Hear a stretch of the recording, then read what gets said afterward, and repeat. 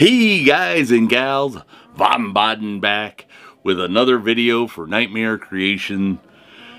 We are done to a point that I can show you this. Uh, things, judgment calls that I'll make at a later point, I'll deal with later point, and if I do change them or don't, I'll um, update you with a photo or something like that in the future. So, this video is the finished zombie head gumball machine. So, stay tuned.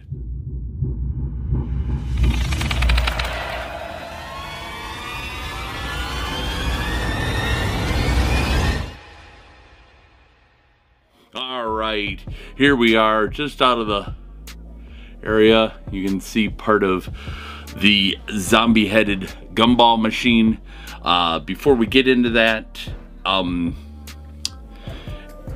if I'm yelling, I do apologize. Uh, my children decided to bring home a bug and I've got some plugged ears. So if I'm screaming, I do apologize. You didn't make me mad. You didn't upset me. Um, but before we get into that, I told you that when I finished it, I would post in a video. And here it is. The finished gun. Um, this is a little too open and plain for me. I may come back and do something. I don't know at this point, but um, as I argue with myself on if I want to do more or not, uh, this is as done as this is going to be for right now. A while back, I had a friend who had uh, made some skulls and I uh, struggled on what I wanted to do, if I wanted to make the skull more zombie, keep it skullish or whatnot. So um, I kicked it around, kicked it around, and I finally started to go and just commit and I went more skull-like. So this was a before I show you the rest, that's um, expanding um, like good stuff foam. And I went through and I painted the whole thing with, um, excuse me, acrylic black for my base coat. And then I went over it and airbrushed white on top of it. And then after that, I went through and did all of the the darker brown areas that you see I did with a brown um, Plaid FX paint came back after that and did this black lining like in the skull there and back in the eyes around the teeth and whatnot now I am going to um, dingy up the teeth. I'm on that fence. I've seen pictures where teeth have um, a yellowish tint to them, and I've seen them where they're like a goldish color, and I'm arguing with myself on which direction to go there.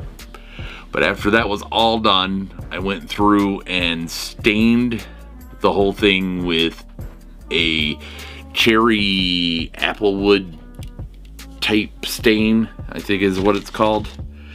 And uh, it's still a little bit sticky. I gotta seal that up. But that's where we're at with that. Then, before I unveil, or reveal, or unveil, however you want to go about it, the zombie-headed uh, gumball machine, I thought I had not do magic. And one of the things that's always been kind of iconic with magician is a top hat. Now, this is not uh, this is sanded down a bit. I still gotta refine some of these edges and then go through and kind of hit hit it with some uh, seal, quick seal um, caulk. There we go. To make some of these uh, seams disappear, but um, I wanted to get going on that, and I gotta decide on what I'm going to do as far as um,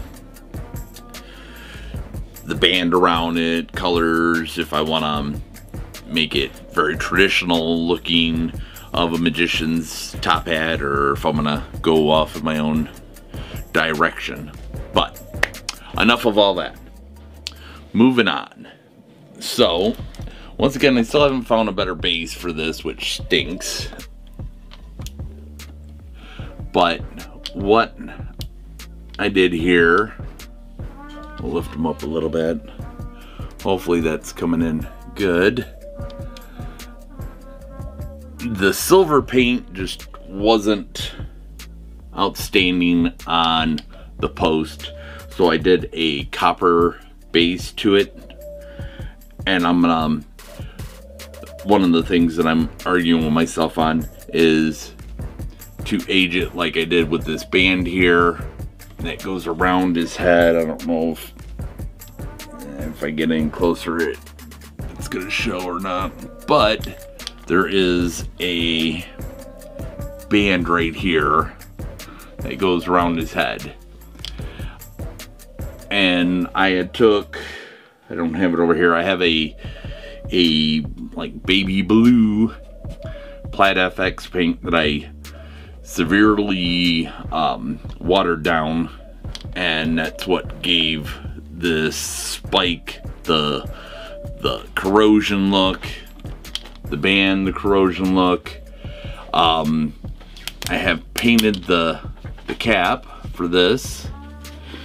And this is going to get corroded probably as well I just I fight with myself guys so I do apologize um, this is four pieces of 10 millimeter foam that I had um, out of my scrap bin, which is always a good thing to keep a scrap bin around.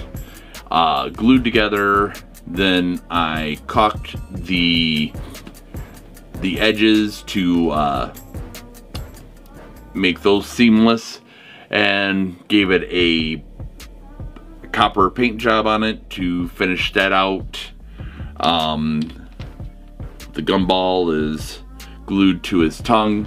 Uh, truly a enjoyable build to do, and I don't know how well that's gonna come out on camera, but his eyes are stitched closed with some um, red floss that my wife had in her craft kits for her um, needlepoint and stuff.